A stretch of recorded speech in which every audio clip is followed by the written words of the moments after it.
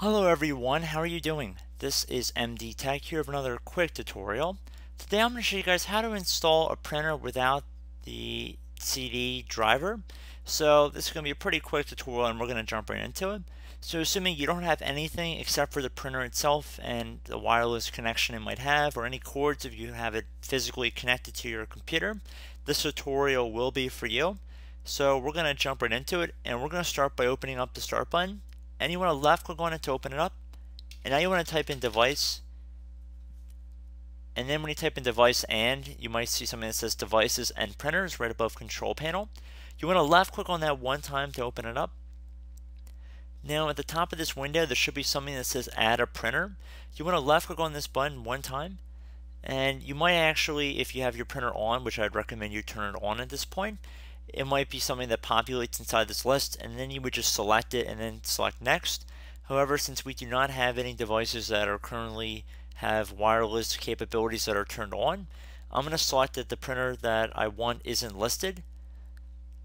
And now at this point, I'm going to select add a local printer or network printer with manual settings. And then I'm going to select next.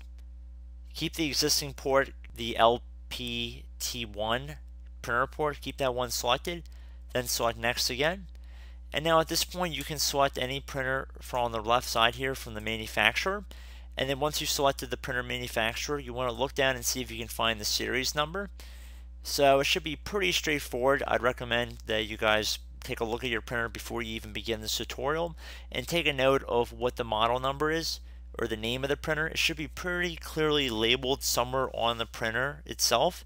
So shouldn't be too hard to find. And then once you found that, and then the respective printer name, select next. You can change the printer name if you wanted to, but we're going to keep it the same default. Then we're going to select next. It's going to be installing the driver software, which should be pretty quick. I'd recommend printing a test page to make sure it works. And then you can click on this finish button. And for more specific printer manufacturers, if you wanted to get specific details if your printer was not listed on there, I recommend going on to that manufacturer's website. So Epson, Brother, Dell, HP, Hewlett Packard, whatever you want to whatever your printer is.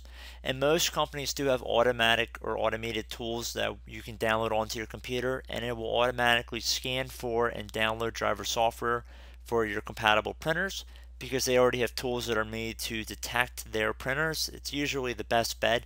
And I usually try to do that if the CD or DVD instructions or installation disk that came with it is currently unavailable.